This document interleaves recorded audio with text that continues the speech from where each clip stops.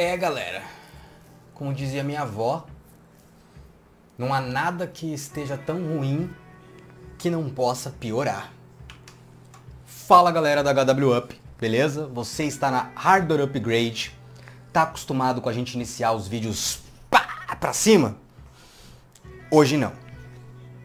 Pra gente pedir que você se inscreva, ative a notificação, isso, se inscreve e ativa a notificação. Mesmo assim, a gente continua tendo que pagar as contas. Mas a notícia não é boa. Nós falamos de Jensen Huang, CEO da Nvidia, dizendo que só ano que vem teremos Ampere RTX para comprar rodo, que vai ter dificuldade até o fim do ano. Mas a Lisa Sul da AMD chegou pra gente e disse que não, que placas da AMD Big Navi vai ter a rodo. Nós vamos poder comprar Big Navi tranquilamente né? Não vai ter escassez. Mandou até diretrizes para distribuidor, para lojista. E agora parece que bicho pegou. A Asus, um dos fabricantes aí maiores do mundo, disse que 6800, 6800 XT também serão escassas. Dia 18, daqui uma semana, cai o embargo. Só Safari. Só modelo referência. E as outras? As outras placas da AMD, Big Navi, 6800, 6800 XT, vocês vão descobrir nesse vídeo. 6900 XT, só dezembro. A gente vai explicar para você se você vai conseguir comprar uma Big Navi ou não. Fica aí com a gente que a gente vai te explicar tudo, beleza? Ativa a notificação dessa bagaça aí, eu não tô muito no clima, mas você vai sair daqui com um pouquinho de esperança. Ou não. Sonhando com SLI de 3090 e ainda nem largou a craqueagem do Windows, na MMORC o seu Windows 10 pode sair por menos de 10 dólares. O Windows 10 pacote Office, pacote de antivírus, basta utilizar o cupom HWU35, aplicando o cupom com 35% de desconto, por menos de 10 dólares você tem o Windows 10 original, extrai a sua chave e ativa o produto online.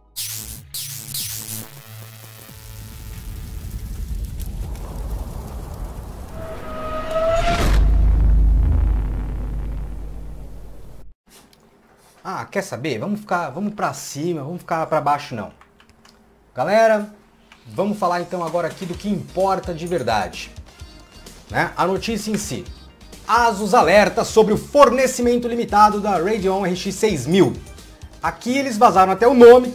Asus Nordic, o David Hammer comentou sobre a situação das placas de vídeo Radeon 6800 XT e 6800X no lançamento. De acordo com a mensagem que ele postou, a Asus espera que os cartões esgotem rapidamente. O estoque pode acabar em... em... Vou dar um zoom aí para quem está no celular para você chorar. Os estoques pode acabar, podem acabar em alguns minutos. Em minutos, como 3070, 3080, isso não é estoque suficiente, dona Lisa Sul. A senhora falou pra gente que ia ter estoque suficiente. Cadê? Cadê essa bagaça? A senhora tava mentindo pra nós então esse tempo todo? Beleza, então. Ó, lê aqui. Não é nenhum segredo que os modelos personalizados estarão disponíveis um pouco mais tarde. Fomos informados de que o embargo dos cartões de parceiros, Asus, é, XFX, Gigabyte, RX 6800 termina uma semana depois dos modelos de referência.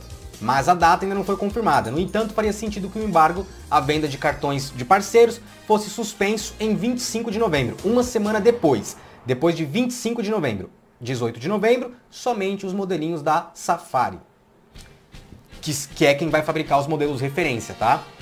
Ó, acompanhe com a gente.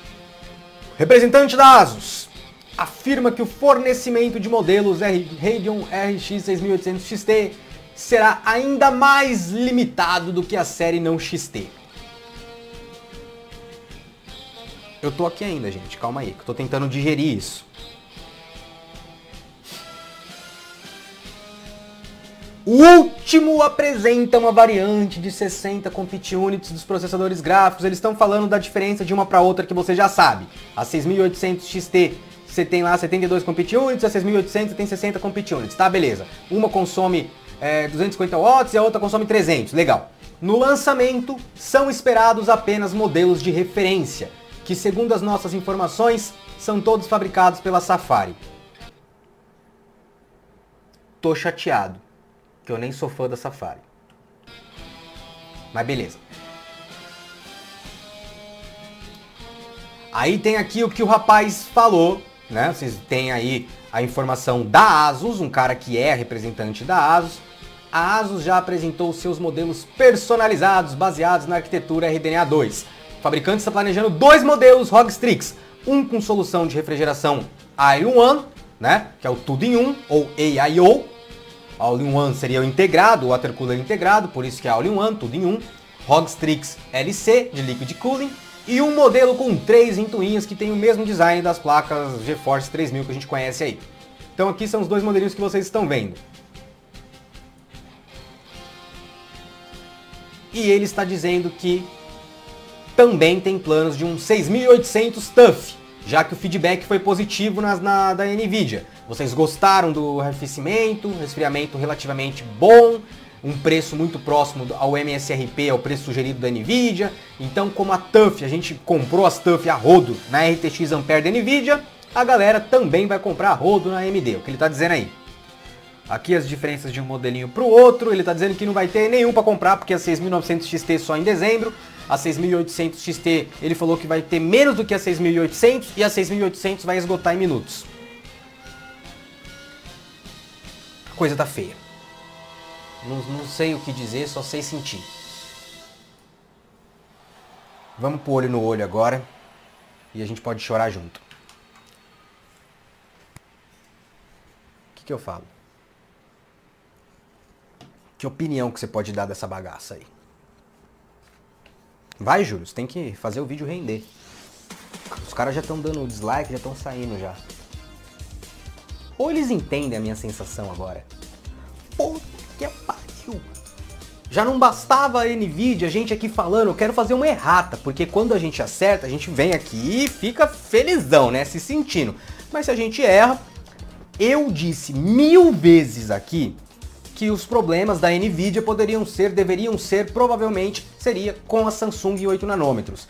E gabava para todos os lados que, bom, a TSMC tem know-how em 7 nanômetros, né? Tá bom, vocês sabem que eu também afirmei e concordei quando a Nvidia dizia, olha, problemas da pandemia. Fabricantes diziam, Ronaldo falou isso da Galaxy nos grupos da HWAP, o Alexandre Zibert falou, a Nvidia falou, todo mundo falou. Ah, mas problemas da pandemia, problemas com a logística. Não é só a Samsung, tem nada a ver isso. Alguns falaram que tem nada a ver com isso. Nem, nem, nem ouvi ninguém falando de Samsung, mas foi a gente falando nos canais, nas redes por aí, nos sites que eu mostrei para vocês. Mas todo mundo falava, olha, tem essa questão da pandemia, coisa e tal, não tem gente para fabricar as placas. O Jensen Huang falou, Beleza, ninguém falava da Samsung. Mas nós da mídia, eu também aqui, falava, ó, cara, Samsung tá cagando no pau para fabricar em 8 nanômetros aí. E provavelmente a TSMC não vai ter esse problema com a AMD. E a AMD tem uma demanda bem menor. Mas parece que, segundo a Asus, a pandemia vai pegar a AMD também. Então você também não vai conseguir comprar uma Big Navi segundo a Asus. Tomara que tenha um monte de gigabyte, então. XFX, Safari. Porque, rapaz, parece que não é um bom ano para você comprar sua placa de vídeo. Já não basta a mineração que tá aí parecendo que a placa vai custar um rim também. Agora, mais essa, vocês vão ver, não sei se o vídeo da mineração já saiu ou vai sair depois, não sei qual vou pôr primeiro, mas vocês vão ver aí que parece que a Big Navi não vai ser tão fácil assim também não, como a gente pensava. Se a Nvidia tá escassa, a gente não consegue comprar 3070, 3080, 3090, Big Navi parece que vai ficar do mesmo jeito. Só sei sentir, não sei nem o que te dizer. Queria ter palavras para vir aqui falar com você, trocar uma ideia. Tô te mostrando a notícia. Seria mais fácil só virar e falar para você o porquê que eu acho que isso deve acontecer. Mas porra, vai contra tudo que a gente tinha falado até então. TSMC 7 nanômetros, baita know-how. Pô, a AMD, a AMD tem, né, uma demanda muito menor. Então ela vai conseguir suprir o mercado. Não, mas está subindo a demanda porque os produtos dela agora batem de frente com a Nvidia e não tem Nvidia para comprar. Tá, mas mesmo assim, não é tanto assim, né? O pessoal vai esperar a Nvidia. Mas quando vem um fabricante desse tamanho como a Asus e fala, ó, em minutos vai esgotar 6.800 quando a gente tiver para comprar. E só no dia 25, no dia 18 só vai ter referência, Safari.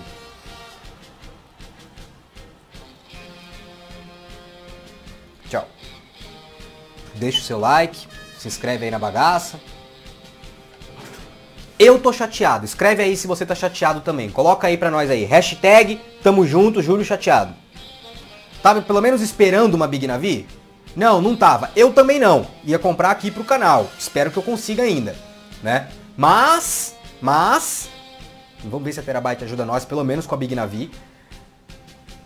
A gente que é fanboy da Nvidia, escuta, a gente que é fanboy da Nvidia, quando tem placa da concorrente no mercado que bate na da Nvidia, a gente paga menos na Nvidia. Pode pôr aí, ninguém tá vendo. Às vezes eu pensei, bom, se tiver Big Navi a rodo, a placa da Nvidia vai ficar mais barata. Porque aí vai ter placa no mesmo patamar e o cara não vai poder dizer, tô comprando, tô cobrando isso aqui na 3070 porque ela bate na 2080 Ti. Por isso que eu tô cobrando 7 mil. Você estava acostumado a pagar 10 mil na 2080 Ti, por que não pode pagar 7 na 3070? Eu li isso de fabricante, de lojista tal, e de pessoas que eu amo, adoro, mas não é uma coisa que o consumidor quer ouvir e não é algo que a gente compre. Isso é uma coisa que você pode dizer interna, mas, mas não fale isso pro consumidor que está chamando ele de idiota. Não, a 3070 tem a performance da 2080 Ti, então pode custar 10 mil. Não, não pode. Não pode. Ela é uma placa de 500 dólares. Por todos os motivos que estão acontecendo no mundo, beleza. Pandemia, dólar, todos os problemas que a gente está passando aqui agora, com a nossa moeda não valendo nada, com a pandemia aí, com, com as escassez, a gente atrelava até os 8 nanômetros da Samsung. Beleza. Só que não ter concorrência, a concorrência ser a 2080 Ti, justificava alguma coisa. Tendo uma Big Navi lá na, na prateleira, uma 6.800, custando 80 dólares a mais, não daria para você cobrar muito mais na, na, na 3070. Só que agora parece que nem a Big Navi a gente vai ter para salvar a gente que é fanboy da Nvidia. Lascou. Valeu, hein, Lisasu? Deixa aí nos comentários aí um xingo pra Lisasu aí, porque parece que a senhora mentiu, hein? Mentirosa. Safada.